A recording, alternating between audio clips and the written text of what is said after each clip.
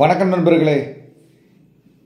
இன்று சென்னை உயர்நீதிமன்றம் ஒரு சிவில் வழக்கில் வழங்கியிருக்கிற முக்கியமான தீர்ப்பை தான் பார்க்க போகிறோம் இந்த வழக்கின் தீர்ப்பை வந்து ஆறு ஆறு ரெண்டாயிரத்தி இருபத்தி மூணில் சென்னை உயர்நீதிமன்றம் வழங்கியிருக்கிறாங்க. நீதியரசர் எஸ் எஸ் சுந்தர் அவர்கள் தான் இந்த வழக்கின் தீர்ப்பை வழங்கியிருக்கிறார். இந்த வழக்கில் சொல்லியிருக்கிற விஷயங்கள் குறித்து நிறைய நீதிமன்றங்களில் வழக்கு நடந்துக்கிட்டு இருக்கோம். நானுமே நிறைய வழக்குகள் நடத்திட்டு வர்றேன். இந்த வழக்கில் முக்கியமாக என்ன விஷயத்தை டிஸ்கஸ் பண்ணியிருக்காங்க அப்படின்னா குடும்ப தொழில் செய்ததன் மூலம் கிடைத்த வருமானத்திலிருந்து அப்பா பேரில் வாங்கப்பட்ட சொத்து அப்பாவினுடைய தனிப்பட்ட சொத்தாகுமா? அல்லது கூட்டு குடும்ப சொத்தாகுமா? அப்படிங்கிற விஷயத்தை தான் இந்த வழக்கில் டிஸ்கஸ் பண்ணியிருக்காங்க. அதாவது தந்தையும் மகன்களும் சேர்ந்து தொழில் பண்ணுறாங்க அந்த தொழிலில் கிடைத்த வருமானத்தின் மூலமாக கூட்டு குடும்பத்தின் கர்த்தா அப்படிங்கிற அடிப்படையில் தந்தை பேரில் வாங்குறாங்க. இப்போ இந்த தந்தை பேரில் வாங்கப்பட்ட சொத்து கூட்டு குடும்ப சொத்தா அல்லது தனிப்பட்ட சொத்தா? இதுதான் விஷயம். இதை நீங்கள் தெளிவாக புரிஞ்சுக்கிடணும்னா நம்ம டைரெக்டாக வழக்கின் சுருக்கத்துக்குள்ளே போயிடுவோம் நீங்கள் ஸ்டோரியை கேட்கும் பொழுது உங்களுக்கு ஈஸியாக புரிஞ்சிடும் இந்த வழக்கில் வாதிகள் வந்து ரெண்டு பேர் இருக்கிறாங்க. ஒருத்தர் பேர் சொக்கலிங்கம் ஒருத்தர் பேர் சோமசுந்தரம். பிரதிவாதிகளில் நாலு பேர் இருக்கிறாங்க. ஒன்றாவது பிரதிவாதி பேர் வந்து பிரேமா. ரெண்டாவது பிரதிவாதி பேர் மீனாட்சி. மூணாவது பிரதிவாதி பேர் அம்சா. நாலாவது பிரதிவாதி பேர் சிதம்பரம். இப்போ இந்த வாதிகள் சொக்கலிங்கம் சோமசுந்தரம். பிரதிவாதிகள் பிரேமா மீனாட்சி ஆகியோர் உடன் பிறந்த சகோதர சகோதரிகள். இந்த மூணு நாலு பிரதிவாதிகள் யாருன்னா இந்த வாதிகளின் இறந்து போன சகோதரியின் குழந்தைகள். ஆக மொத்தத்தில் இந்த வழக்கு பிரச்சனையே ஒரு குடும்பத்துக்குள்ள கூட பிறந்த சகோதரன் சகோதரிகளுக்கிடையே தான் நடக்குது. இப்போ இந்த வழக்கில் கண்ட வாதிகள் கீழமை நீதிமன்றத்தில் ஒரு வழக்கை தாக்கல் பண்ணுறாங்க அந்த வழக்கில் அவங்க என்ன சொல்கிறாங்க அப்படின்னா எங்கள் அப்பா பேர் நடராஜன். எங்கள் அம்மா பேர் மங்களாம்பாள்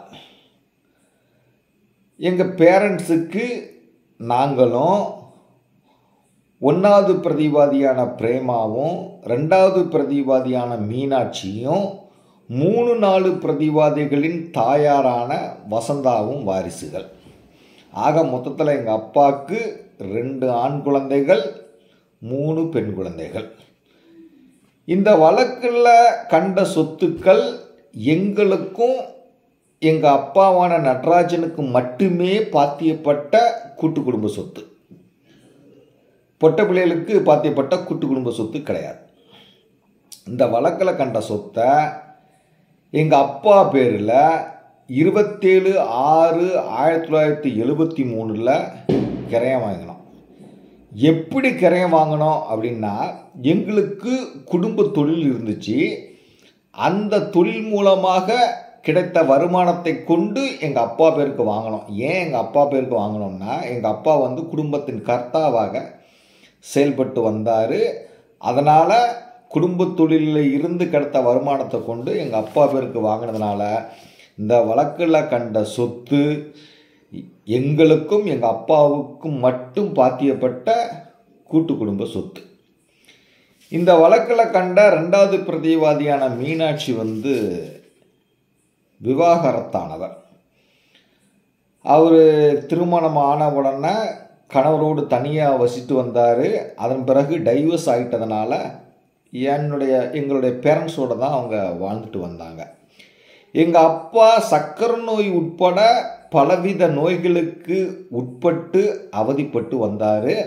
அதனால் தன்னுடைய இறுதி காலத்தில் அவர் மனநிலை தப்பி இருந்தார். அதாவது நோய்களால் அதிக பாதிக்கப்பட்டு தான் செய்வது என்ன என்று தெரியாத நிலையில் அவர் இருந்து வந்தார்.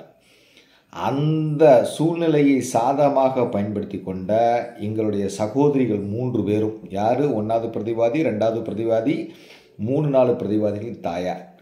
இவங்க மூணு பேரும் சேர்ந்து எங்கள் அப்பாவை ஏமாற்றி அல்லது கட்டாயப்படுத்தி மோசடியாக ரெண்டு கிரையப்பத்திரங்களை எழுதி வாங்கிட்டாங்க. அந்த கிரைய பத்திரங்கள் படி எந்த சேல் கன்சிடரேஷனும் கைமாறலை. அந்த கிரைய பத்திரத்தை எழுதி கொடுக்க எங்கள் அப்பாவுக்கே ரைட் கிடையாது. ஏன்னா அது எங்களுக்கும் சேர்ந்து பாத்தியப்பட்ட குடும்ப சொத்து.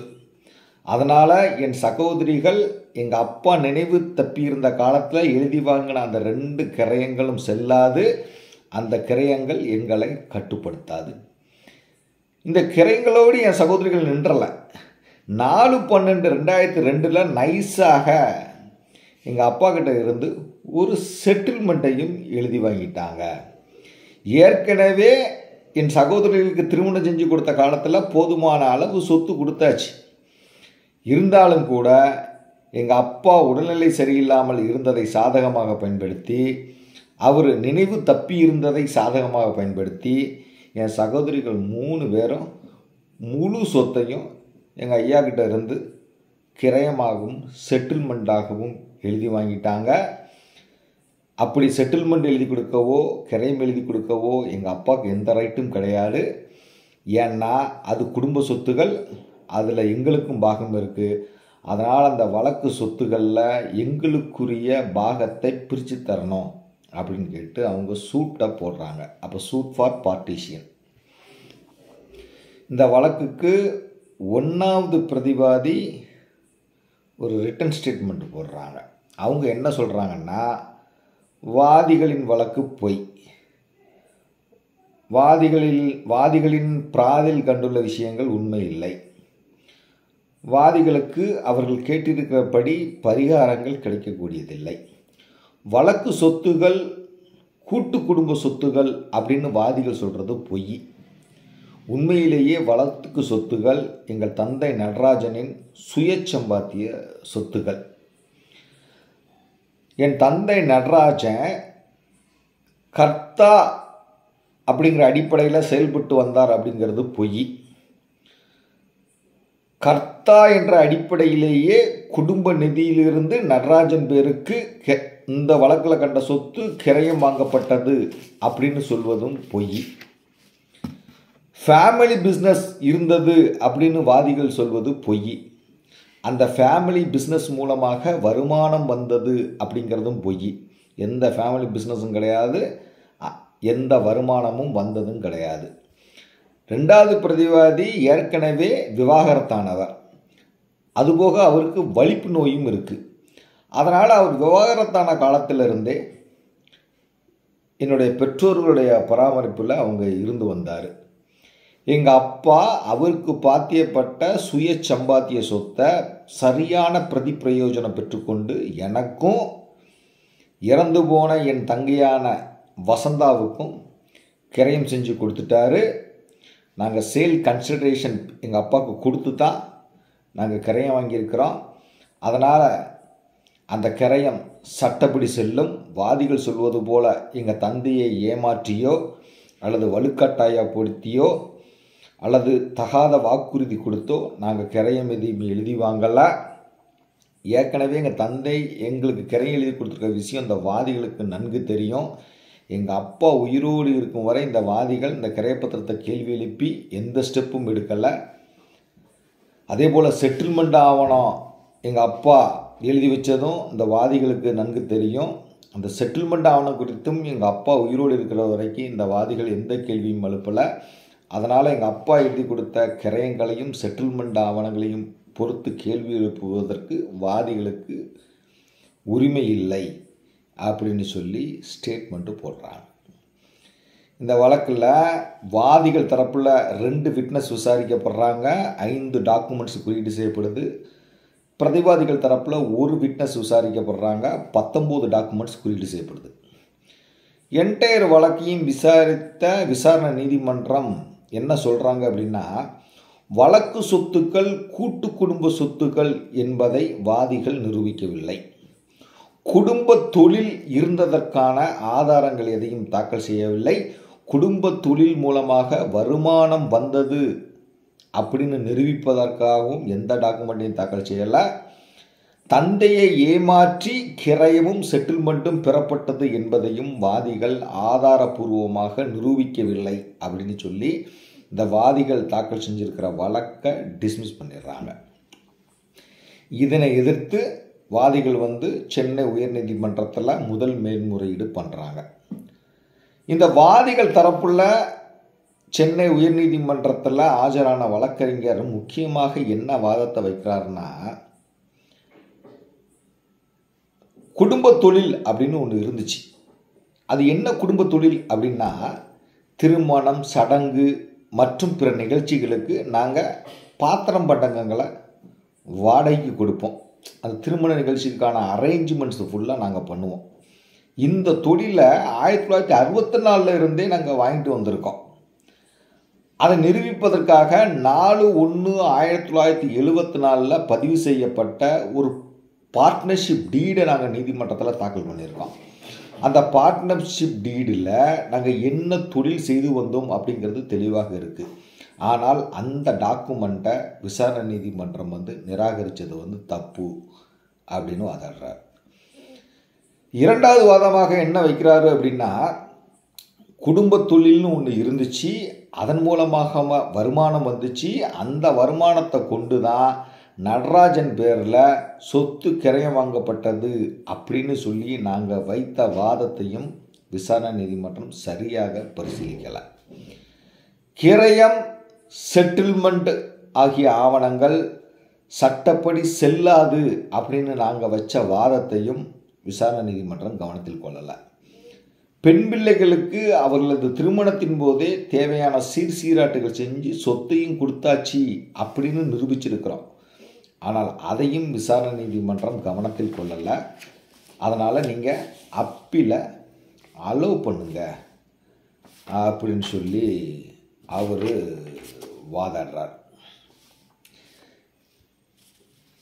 வாதங்களை கேட்ட ஹைகோர்ட்டு இந்த இடத்துல ஒரு நாலு இஷ்யூஸும் ஃப்ரேம் பண்ணுறாங்க அதுதான் நமக்கு ரொம்ப முக்கியம்.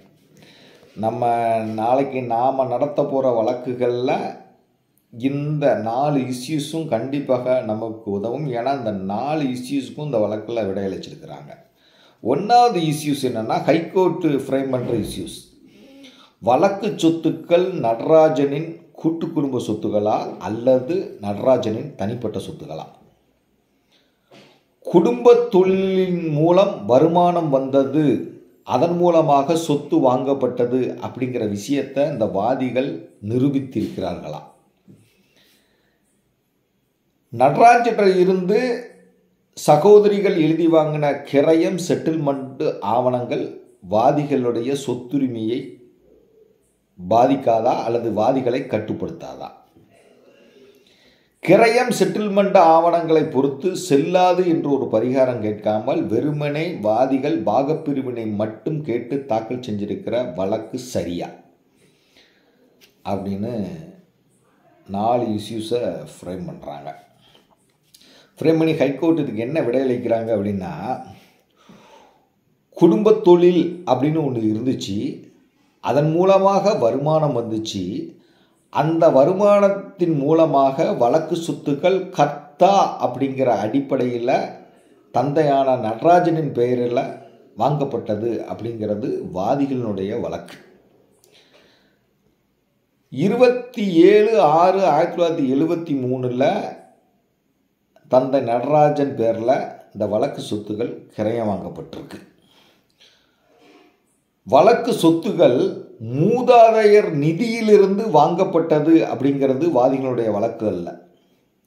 குடும்ப தொழிலில் இருந்து வருமானம் வந்துச்சு அதன் மூலமாக தந்தை பேரில் வாங்கப்பட்டது அப்படிங்கிறது தான் வாதிகளுடைய வழக்கு. நடராஜ குடும்பத்தின் கர்த்தாவாக இருந்ததால் அவர் பேரில் வாங்கப்பட்டது அப்படின்னு வாதிகள் குறிப்பாக வாதம் வைக்கிறாங்க. குடும்ப தொழில் ஒன்று இருந்துச்சு அப்படிங்கிறத நிரூபிப்பதற்காக இந்த வாதிகள் தரப்புல நாலு ஒன்று ஆயிரத்தி தொள்ளாயிரத்தி எழுபத்தி நாலு தேதியிட்ட பார்ட்னர்ஷிப் டீடை தாக்கல் பண்ணியிருக்காங்க. அந்த பார்ட்னர்ஷிப் டீடை பார்த்தோம்னா அந்த பார்ட்னர்ஷிப் டீடில் யாரெல்லாம் பார்ட்டின்னா இந்த வாதிகளும் வாதிகளின் தாயார் மங்களாம்மாளும் அதில் நடராஜன் ஒரு பார்ட்டி கிடையாது. இந்த பார்ட்னர்ஷிப் டீடில் என்ன சொல்கிறாங்க அப்படின்னா திருமணம் மற்றும் பிற நிகழ்ச்சிகளுக்கு தளவாடங்கள் பண்ட பாத்திரங்கள் ஆகியவற்றை வாடகைக்கு கொடுக்கும் தொழிலை தொடங்கியதாக தெரிகிறது. அப்போ இந்த வாதிகளும் நடராஜனின் மனைவியும் இவங்க மூணு பேரும் மட்டுமே சேர்ந்து நாலு ஒன்று ஆயிரத்தி தொள்ளாயிரத்தி எழுபத்தி நாலில் தொழிலை தொடங்கியிருக்கிறாங்க. அந்த பார்ட்னர்ஷிப் டீடு பதிவு செய்யப்பட்ட தேதியில் தொழில் தொடங்கப்பட்டதாக அந்த பார்ட்னர்ஷிப் டீடில் இருக்குது. ஆனால் இங்கே நடராஜன் சொத்தை எப்போ கரையை வாங்கியிருக்கிறாரு? இருபத்தேழு ஆறு ஆயிரத்தி தொள்ளாயிரத்தி எழுபத்தி மூணில் கரையை வாங்கியிருக்கிறாரு. எவ்வளவுக்கு கரையை வாங்கியிருக்கிறாரு? முப்பத்தி ரெண்டாயிரம் ரூபாய்க்கு கிரையம் வாங்கியிருக்கிறாரு. ஆனால் தொழில் தொடங்கப்பட்ட ஆண்டு எப்போ? நாலு ஒன்று ஆயிரத்தி தொள்ளாயிரத்தி எழுபத்தி நாலில். அதாவது தொழில் தொடங்கப்படுவதற்கு முன்பாகவே நடராஜன் வந்து சொத்துக்களை கிரையம் பெற்றிருக்கிறாரு. அப்போ எப்படி தொழிலில் இருந்து வருமானம் வந்திருக்கும்? அப்போ அதற்கு வாய்ப்பு இல்லை ஏன்னா கிரையம் வாங்கின பிறகு தான் தொழிலே தொடங்கியிருக்கிறாங்க. அதனால் குடும்ப தொழில் மூலமாக வருமானம் வந்தது. அந்த வருமானத்தை கொண்டு தந்தை நடராஜன் பேரில் சொத்து வாங்கப்பட்டது. அதனால் அது கூட்டு குடும்ப சொத்து அப்படிங்க அப்படின்னு வாதிகள் தரப்பில் வைக்கப்பட்ட வாதத்தை வந்து ஏற்க முடியாது. ஆனால் வாதிகள் பீடிங்ஸில் என்ன சொல்லியிருக்காங்க? ஆயிரத்தி தொள்ளாயிரத்தி அறுபத்தி நாலிலிருந்தே தொழில் தொழில் செய்து வந்ததாக கூறியிருக்கிறாங்க. அப்படின்னா அதை நிரூபிக்கணும். அது எப்படி தொடங்கப்பட்டது அதற்கான மூலதனம் எங்கிருந்து வந்துச்சு அப்படிங்கிறதுக்காக வாதிகள் எந்த ஆதாரத்தையும் நீதிமன்றத்தில் தாக்கல் பண்ணலை. தொழிலானது மூதாதைய தொழில் அப்படின்னு வாதிகள் கூறலை. மூதாதைய தொழிலை நாங்கள் பரம்பரை பரம்பரையாக செஞ்சுட்டு வந்தோம் அப்படின்னு வாதிகள் சொல்லலை. திருமணம் போன்ற நிகழ்ச்சிகளுக்கு நாங்கள் ஜாமான்களை வாடகைக்கு கொடுப்போம்னு சொல்லியிருக்காங்க. அந்த தொழிலையே அவங்க ஆயிரத்தி தொள்ளாயிரத்தி எழுபத்தி நாலில் தான் ஆரம்பிச்சிருக்கிறாங்க. அதுவும் தாயோடு சேர்ந்து தான் ஆரம்பிச்சிருக்காங்க. தந்தை அதில் ஒரு பார்ட்டி கிடையாது. தொழில் தொடங்குவதற்கு முன்பாகவே நடராஜன் வந்து சொத்தை கரையம் வாங்கியிருக்கிறாரு. அதனால் இந்த தாயும் மகன்களும் சேர்ந்து தொடங்கின தொழிலை வந்து ஃபேமிலி பிஸ்னஸாக கருத முடியாது. அதனால் அதன் மூலம் வருமானம் வந்தது அப்படிங்கிறதையும் ஈர்க்க முடியாது.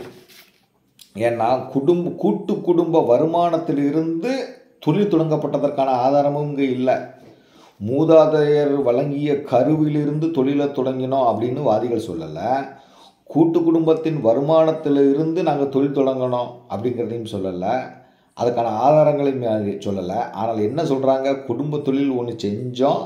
அது என்ன தொழில்னா நாங்கள் வாடகைக்கு பண்ட பாத்திரங்களை கொடுப்போம். அதன் மூலமாக வருமானம் வந்துச்சுன்னு சொல்கிறாங்க ஆனால் அந்த தொழிலானது நடராஜன் கரையம் வாங்கியிருக்கு பின்னர் தான் தொடங்கப்பட்டிருக்கு. அதனால் வாதிகளும் அவரது தாயாரும் சேர்ந்து செய்த தொழிலை குடும்ப தொழிலாக கருத முடியாது. அதனால் அந்த வழக்கில் கண்ட சொத்துகள் நடராஜனின் தனிப்பட்ட சொத்துக்கள் தான். அது வந்து நடராஜனின் கூட்டு குடும்ப சொத்துக்களாக கருத முடியாது அப்படின்னு சொல்லி முடிச்சிடுறாங்க. அடுத்தடுத்த இஷ்யூஸை இதே காரணமாக வச்சு டிஸ்யூஸ் பண்ணிடுறாங்க டிசைட் பண்ணிடுறாங்க. இறுதியாக கிரயம் செட்டில்மெண்டைகள் ஆவணங்களை பொறுத்து செல்லாது என்று ஒரு பரிகாரம் வந்து கேட்காமல் வெறுமனே பாகப்பிரிவினை மட்டும் கேட்டு வாதிகள் வழக்கை தாக்கல் செய்திருப்பது சரியான்னு பார்க்கும் பொழுது அது செல்லாதுன்னு அறிவிக்கணும்னு சொல்லி வாதிகள் வந்து ஒரு பரிகாரமே கேட்காத கேட்காதனால இயற்கையாகவே அதை கொடுக்க வேண்டிய அவசியம் இல்லை அப்படின்னு சொல்லி டிசைட் பண்ணி இந்த வாதிகள் தாக்கல் செஞ்சிருக்கிற அப்பில்ல மெரிட்டேன்னு சொல்லி டிஸ்மிஸ் பண்ணிட்டாங்க. இப்போ அந்த வழக்கு தீர்ப்புலேருந்து நாம் என்ன தெரிஞ்சுக்கணும் தந்தை பெயரில் உள்ள சொத்து அவர் கிரையம் வாங்கிய சொத்துனே வச்சுக்கிடுவோம். அந்த சொத்து கூட்டு குடும்ப சொத்து அப்படின்னு ஒரு வாதத்தை வைத்து அதில் பாகப்பிரிவினை கோர வேண்டும் என்றால் அல்லது அந்த சொத்தை கிரயம் கொடுப்பதற்கு தந்தைக்கு உரிமை இல்லை அப்படி என்று வாதாட வேண்டுமென்றால் கூட்டு குடும்பத்திற்கு ஏற்கனவே வருமானம் வந்தது அப்படிங்கிறத முதல்ல நிரூபிக்கணும். அப்படி நிரூபிக்காத வரை யார் பேரில் பத்திரம் இருக்கோ அந்த சொத்து அவருடைய சுயச்சம்பாத்திய சொத்தாக தான் கருதப்படும். அதை கூட்டு குடும்ப சொத்தாக கருத முடியாது. நம்ம ஏற்கனவே இதுக்கு முன்னாடி ஒரு தீர்ப்பில் பார்த்துருந்தோம். அந்த தீர்ப்பில் என்ன சொல்லியிருப்பாங்க? ஒருவர் தான் சம்பாதித்த சுய சம்பாத்திய சொத்தையும் கூட்டு குடும்ப சொத்தாக மாற்றலாம் அப்படின்னு சொல்லி தீர்ப்பளிச்சிருப்பாங்க. ஆனால் அங்கே வாதிகளினுடைய ப்ரீடிங்ஸே அப்படி இல்லை. இந்த வாதிகள் ஒருவேளை இந்த வழக்கில் கண்ட சொத்துக்கள் எங்கள் அப்பா தனிப்பட்ட முறையில் கிரம் இருந்தாலும் கூட அதை கூட்டு குடும்ப சொத்தாக மாற்றி வாதிகளுடன் சேர்ந்து கூட்டு குடும்ப சொத்தாகவே அனுபவித்து வந்தார் அப்படின்னு ப்ரீடிங்கில் சொல்லியிருந்திருக்கலாம். ஆனால் ப்ரீடிங்ஸில் அப்படி சொல்லலை. குடும்ப தொழில் செஞ்சோம். அதிலிருந்து வருமானம் வந்துச்சு. அந்த வருமானத்தை கொண்டு எங்கள் அப்பா பேரில் கர்த்தாங்கிற அடிப்படையில் கிரயம் பெற்றோம்னு சொல்லி அந்த இடத்துல தப்பு பண்ணுறாங்க அதனால் இங்கே வழக்கு வந்து மாறி போச்சு மொத்தத்தில் சகோதரிகள் தந்தைகிட்டருந்து முழு சொத்தையும் எழுதி வாங்கிட்டாங்க. இந்த வாதிகளான பசங்க எங்கே இருந்தாங்கன்னு தெரியலை. ஏன்னா என்கிட்ட எல்லா சொத்துமே எழுதி வாங்கிட்டாங்க. கடைசியில் இந்த பசங்க தான் தொழிலெலாம் பண்ணியிருக்கிறாங்க. இந்த வழக்கில் பிஸ்னஸ்லாம் இவங்க தான் பண்ணியிருக்கிறாங்க. சகோதரிகளுக்கு ஹெல்ப்லாம் பண்ணியிருப்பாங்க. ஆனால் இந்த வழக்கில் கண்ட சகோதரிகள் நைஸாக அப்பாகிட்ட இருந்து டாக்குமெண்ட்டை ஃபுல்லாக போட்டுட்டாங்க. என்ன பிரச்சனை இருந்துச்சுன்னு நமக்கு தெரியாது. அதனால் இந்த வழக்கு தீர்ப்புலேருந்து நம்ம என்ன தெரிஞ்சுக்கிடணும்னா தந்தை பேரில் உள்ள சொத்து கூட்டு குடும்ப சொத்து கூட்டு குடும்பத்தின் வருமானத்திலிருந்து தந்தையின் பேருக்கு வாங்கப்பட்டது அப்படின்னு நாம் ஒரு வாதத்தை வைத்தால் முதலில் குடும்பத்திற்கு வருமானம் வந்தது அப்படிங்கிறத நிரூபிக்கணும். அல்லது மூதாதையர் நிதியிலிருந்து தந்தை பேருக்கு வாங்கப்பட்டது அப்படிங்கிறத நிரூபிக்கணும். இல்லை பரம்பரை பரம்பரையாக நாங்கள் தொழில் செஞ்சுட்டு வந்தோம். அதன் மூலமாக வருமானம் வந்து கொண்டிருந்தது அந்த வருமானத்தை கொண்டு தந்தை பேரில் கர்த்தாங்கிற அடிப்படையில் வாங்கப்பட்டது அப்படிங்கிறத நிரூபிக்கணும். அப்படி எந்த ஆதாரமும் இல்லாமல் வெறுமனே குடும்ப தொழில் செஞ்சோம் தந்தையின் பேரில் கர்த்தாங்கிற அடிப்படையில் வாங்கினதுனால அது கூட்டு குடும்ப சொல்லு சொத்து அப்படிங்கிற வாதத்தை வந்து நீதிமன்றம் வந்து ஏற்காது. அப்படி ஒரு வாதத்தை நம்ம வைக்கவும் முடியாது அப்படிங்கிறத தான் இந்த தீர்ப்புலேருந்து நம்ம தெரிஞ்சுக்கிடணும். இந்த தீர்ப்பினுடைய முழு வரத்தையும் நான் டிஸ்கிரிப்ஷன் பாக்ஸில் கொடுக்குறேன். படித்து பாருங்கள் இது போன்ற வழக்குகளை நடத்துகிற போது நமக்கு இந்த தீர்ப்புலாம் ரொம்ப ஈஸியாக புரியும். ஏன்னா அதில் ஹைகோர்ட் வந்து நாலு இஷ்யூஸை ஃப்ரேம் பண்ணி அந்த நாளுக்குமே சூப்பராக விடையளிச்சிருக்கிறாங்க. தீர்ப்புகளை படிக்க படிக்க படிக்க தான் நமக்கு நிறைய விஷயங்கள் தெரியும். ஏன்னா இப்போ எனக்குமே நெ- எல்லா விஷயங்களுமே எனக்கு தெரியாது. ஏதோ ஓரளவு நம்ம படிக்கிறதுனால கொஞ்சம் தெரியும். அதை நம்ம வழக்குகளில் அப்ளை பண்ணிக்கிட்டோம் ஒரு வாதியாகவோ அல்லது பிரதிவாதியாகவோ யாருக்காக நம்ம ஆஜரானாலும் கூட நம்மளால் ஒரு டஃப்பான வழக்கை நடத்த முடியும். அதுக்கு எப்படி நமக்கு வாய்ப்பு கிடைக்கும் அப்படின்னா நம்ம படிக்க போய் தான். டெய்லி ஒரு தீர்ப்பு ரெண்டு தீர்ப்பாவது நான் பார்த்துருவேன். அப்படி பார்த்ததோடு மட்டும் இல்லாமல் இந்த வழக்கு தீர்ப்புகளை வந்து நான் அப்படியே அப்ளை பண்ணிடுவேன் இப்போ நான் கவுண்டர் போடும்போதே சைட்டேஷனை கோட் பண்ணி தான் நான் இப்போ கவுண்டரே நான் போடுறது. கவுண்டரோ ரிட்டன் ஸ்டேட்மெண்ட்டோ ஆர்குமெண்ட்ஸோ ஏதோ ஒன்று போடும் பொழுது நான் சைட்டேஷனை சுட்டி காட்டியே போட்டுருவேன். இப்போ ரிஜெக்ஷன் ஆஃப் பிளைண்ட்டு நான் போடுறேன்னா அதில் ஒவ்வொரு இதையாக பார்த்து நான் சைட்டேஷன் இந்த தீர்ப்பின்படி நிராகரிக்கப்பட வேண்டியது அப்படின்னே போட்டுறது. அப்படின்னா தான் ஜட்ஜஸ் வந்து அதை கொஞ்சம் அக்யூரேட்டாக நல்லா பார்ப்பாங்க. இல்லைன்னா மேலோட்டமாக பார்த்துட்டு ஒரே டம்முன்னு டிஸ்மிஸ் பண்ணி விடுவாங்க. இந்த தீர்ப்பினுடைய முழு விவரத்தையும் நான் சொ- கொடுக்குறேன். படித்து பாருங்கள் படித்து பார்த்துட்டு உங்கள் கருத்துக்களை வந்து கமெண்டில் பண்ணுங்கள் என்ன சொல்கிறீங்கன்னு பார்ப்போம். நன்றி.